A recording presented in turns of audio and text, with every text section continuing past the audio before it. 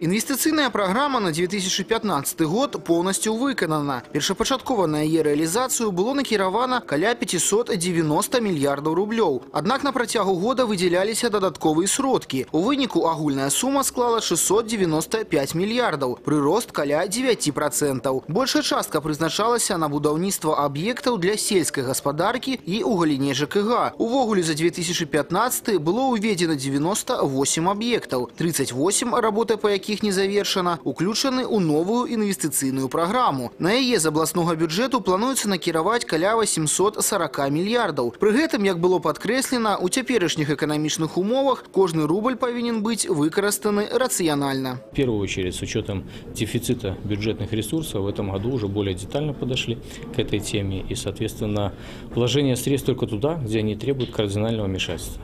Опять же, здравоохранение, образование, объекты культуры, физкультура и спорт.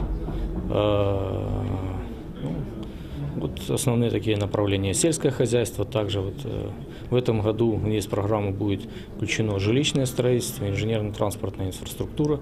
На парадку дня 15 сесії обласного савета таксама змянення межаў горада Гомеля і Гомельскага района, а менавіта вызначэнне статуса рабочага пасёлка Касцюкоўка. Плануецца, што ўжо праз два месяцы, калі завершацца ўсе юрыдычныя працэдуры, ён стане новым мікрараёнам абласнога цэнтра. Пасля зацверджання дакумента дэпутатамі яго накіруюць у міністэрства юстыцыі, а пасля ў нацыянальнае кадастравае агентства, дзе будуць зафіксаваны новыя межы горада Гомеля. Решения о подчинении Костюковки городу Гомель были приняты еще в 1965 году.